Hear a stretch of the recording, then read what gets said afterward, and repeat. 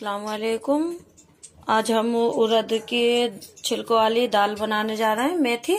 उड़द की दाल और मेथी बनाने जा रहे हैं तो उसके लिए हमने आधा किलो ये उड़द की दाल लिए, धो के रख लिए, अभी धोइए, ज़्यादा देर नहीं हुई है धोले हुए आप चाहें तो आधे घंटे पहले भी धो के रख सकते हैं, ये अच्छे से फूल जाएगी। और सौ ग्राम के करीब हमने मेथी ली, काट के धो के रख लिया है। कटोरी में आप देख सकते हैं, एक बाउल।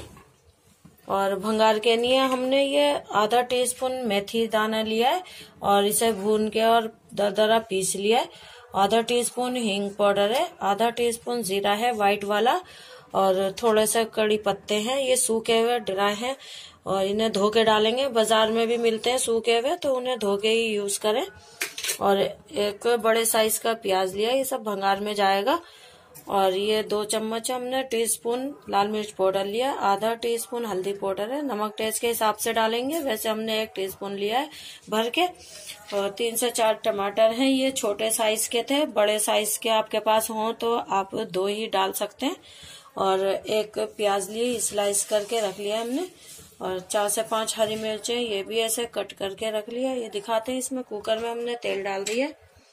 ये देखिए, तेल गरम हो गया तो हम सारी चीज़ें एक साथ ही डालेंगे। और इसमें हमने दो चम्मच तेल डाल दिया और ऊपर से दो चम्मच बाद में भंगार लगाएँगे। तो इसीलिए पहले प्याज डाल देते हैं। हरी मिर्चें भी डाल देते हैं, क्योंकि हमें इसका कलर चेंज नहीं करना है, बस इससे भुनना है हल्का सा, ताकि जो इसका कच्चापन है वो चला जाए। तो इसीलिए सब चीज़ साथ में डाल देंगे। इसे हम हल्का सा नरम करना है, बस ज़्यादा इसे कलर चेंज नहीं करना है, इसका बिल्कुल भी।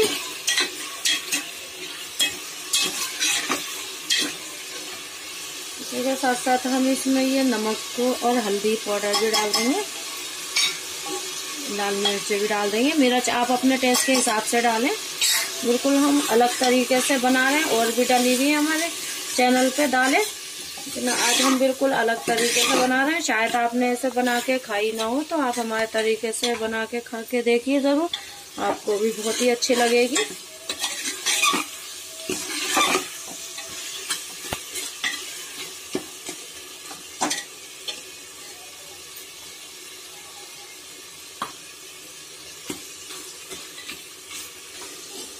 ये देखिए, टमाटर अच्छे से भुन गए और नरम भी होने लगे। ये आप देख सकते हैं, इसका कलर कितना बेहतरीन लग रहा है, इतना अच्छा लग रहा है। इसी के साथ साथ हम इसमें मेथी डाल देंगे। देखिए, हमने मेथी भी डाल दी है इसमें।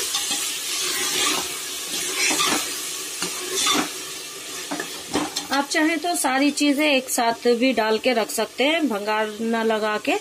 तो आप ऐसे भी रख सकते हैं, लेकिन इससे मज़ा और भी अच्छा हो जाएगा। एक चम्मच हम इसमें अदरक लहसन का पेस्ट भी डाल देते हैं। ये देखिए, एक चम्मच भर के ये जो डिश का चम्मच होता है, डिश में जो डालते वाला, एक टीस्पून, या टेबल स्पून, ये डाल दिया हमने। इसे भी अच्छे से भून लेंगे। आप चाहें तो कद्दूकस करके भी डाल सकते हैं या काट के भी डाल सकते हैं। एक टेबल स्पून पानी डाल देते हैं। ये देखिए कितनी अच्छी से खुशबू आ रही है इसमें। और जो हम भूनेंगे तो अदरक लहसन की इसमें से स्मेल भी चली जाएगी।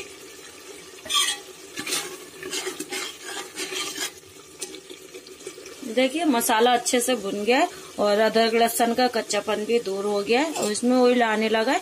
अब हम इसमें दाल डाल देंगे।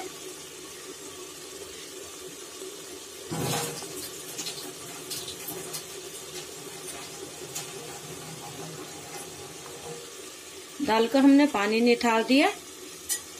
दाल डाल देते हैं। ये देखिए, दाल डाल दी हमने सब, और इसमें उबाल आना शुरू हो गया। सबको मिक्स कर देते हैं। आप चाहे तो इसे खड़ी दाल जो बनती है, उड़द की, वो भी बना सकते हैं। और हम पतली दाल बनाएँगे लिक्विड वाली। क्योंकि हमें चावलों से खाना है तो इसीलिए तो इसमें पानी डाल देते हैं।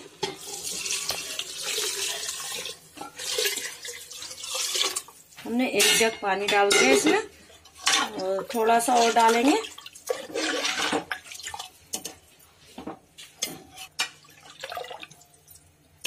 ये देखिए, इसमें हमने एक जग पूरा भर के ऊपर तक का पानी डाल दिया इसमें।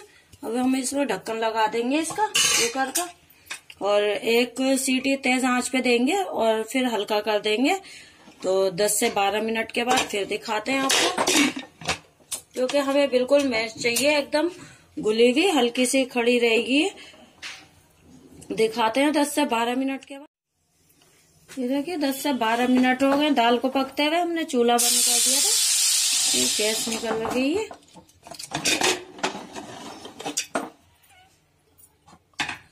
ये आप देख सकते हैं, दाल हमारी बिल्कुल तैयार है, लेकिन हम इसमें पानी डालेंगे। हमें इतनी गाढ़ी नहीं चाहिए, थोड़ी सी हमें पतली चाहिए। अगर आपको ये रोटी के लिए बनानी हो तो आप ऐसे ही रखें और ऐसे ही भंगार लगा लें। चपाती, पूरी या मक्का की रोटी जो भी आप खाते, खाना पसंद करते हो, बहुत ही अच्छा लगेगा इससे। इसमें से खुशबू भी बहुत ही बेहतरीन आ रही है। इसमें हमने पानी उबाल के रखा है। पानी कभी भी कच्चा ना डालें, पानी हमेशा उबाल के डालें। तो हम एक से डेढ़ गिलास के करीब पानी उबला हुआ डाल देंगे। ये हमने अच्छे से उबाल रखा है। ये देखिए।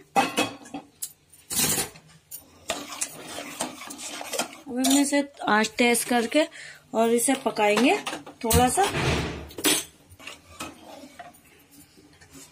इसे हम हल्के छोटे चूल्हे पे रख देते हैं, इतने भंगार की तैयारी करते हैं। ये देखिए, हमारी दाल में अच्छे से उबाल आ गया है और पानी वैसे भी हमने अच्छे से उबाल के डाला था तो इसीलिए इसमें इतनी जल्दी उबाल आ गया और जो दाल में ऐड जाती है वो भी नहीं ऐठेगी अगर चाहे गर्म पानी डालेंगे तो और ज़्यादा पकाने की ज़रूरत भी नहीं पड़ेगी। ये आप देख सकते हैं, ये पकने के बाद भी मिक्स होने के बाद भी ये इतनी गाढ़ी है। और ये चावलों से बहुत ही अच्छी खाई जाती है, बहुत ही मज़े की। बिल्कुल हमने अलग तरीके से बनाई है भंगार की तैयारी कर लेते हैं, इसे अलग रख देते हैं हल्की आँच पे। ये देखिए, दाल हमारी बिल्कुल तैयार हो गई है। दाल का चूल्हा हम बंद कर देते हैं। और इधर हमने तेल रख दिया। ये देखिए, अच्छे से उबाल आ गया। और इसमें कुछ नहीं जाएगा, बस भंगार लगाना है। आप चाहें तो थोड़ी मिर्च और हल्दी भी डाल सकते हैं भंगार में, लेकिन हम नहीं डालेंगे। हमें इतनी अच्छी लगती है। ये देखिए, तेल हमारा गर्म हो गया तो हम इसमें जीरा डाल देते हैं पहले।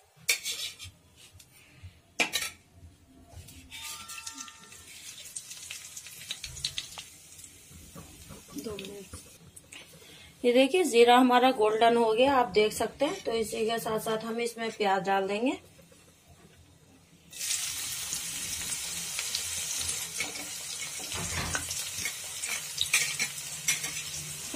प्याज के साथ हमने ये दो से तीन मिर्चें लिए साबुत वाली, ये भी डाल देंगे।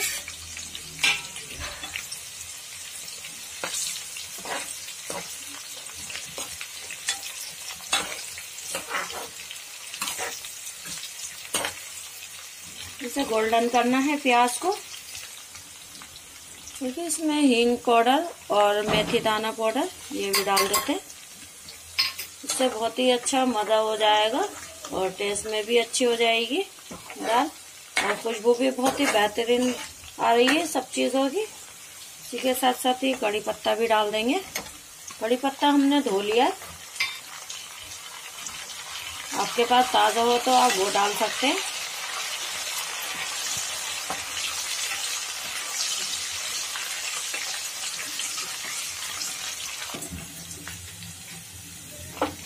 ये देखिए, प्याज अच्छे से गोल्डन हो गई है, चूल्हे को बंद कर देते हैं। और इसे थोड़ा सा भंगार हम अलग निकाल लेंगे तो डालने के लिए, और सब दाल में मिला देंगे।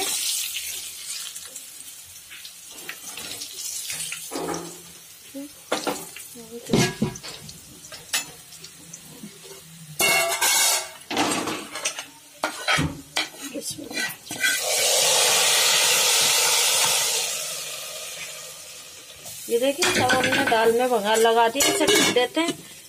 से दो सेकंड के लिए, ताकि जो भी इसके खुशबू होगी, महक अच्छे से उसमें दाल के अंदर जज्म हो जाएगी। तो इसीलिए हींग की, मिर्चों की, कड़ी पत्ते की, सब बहुत ही अच्छी खुशबू आ रही है। इसको मिक्स कर देते हैं अच्छे से। निकाल के दिखाते हैं रमानी रहीम के साथ मिला देते हैं अच्छे से और हम डिश में निकाल लेते हैं। ये देखिए कितनी गाढ़ी है, इतना पानी डालने के बाद भी दाल हमारी वो अच्छे से पक गई है। और ये इतनी ही होनी चाहिए, ज़्यादा घुटी हुई, आप देख सकते हैं, दाना दाना दिख रहा है, घुटा हुआ। ऐसे ही होनी चाहिए, ऐसे जैसे दाल मखनी बनती है। तो ऐसे ज़्यादा घुटी हुई, अच्छी नहीं लगती है दाल। तो आप हमारे तरीके से आप भी खुश हो जाएँगे और खाने वालों को भी मज़ा आएगा। ये देखिए, दाल हमारी बिल्कुल तैयार है। अब इसमें हमने जो ये भंगार रोका था, ये डाल देते हैं।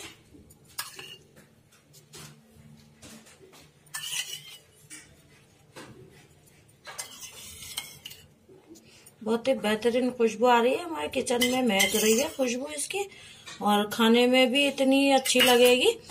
अगर चाहे आपको हमारी ये वीडियो अच्छी लगे तो लाइक कीजिए और अगर चाहे आप हमारे चैनल पे नए हैं तो हमारे चैनल को सब्सक्राइब कीजिए, बेल आइकन ज़रूर दबाइएगा ताकि हम जो भी वीडियो डालें आपके पास सबसे पहले पहुँचे। इसीलिए बेल आइकन दबाना ज़रूरी है और शेयर भी ज़रूर करिए और आप बना के खा के ज़रूर देखिएगा, आपकी तबीयत भी खुश हो जाएगी और खाने वालों को भी बहुत ही मज़ा आएगा, तारीफ़ करेंगे सब जो खाएँगे आपकी और फिर आप कहेंगे फिर से कुछ बना के देखते हैं तो आप और भी कुछ देखना हो तो आप हमारे चैनल पे जाके देखिए, बहुत सारी चीज़ें डली हुई और फिर मिलते हैं अपने नई रेसिपी के साथ, जब तक के अल्लाह हाफिज।